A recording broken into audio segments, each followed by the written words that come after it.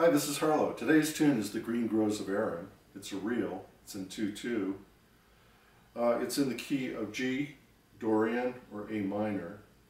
You can play it at about 118 beats per minute.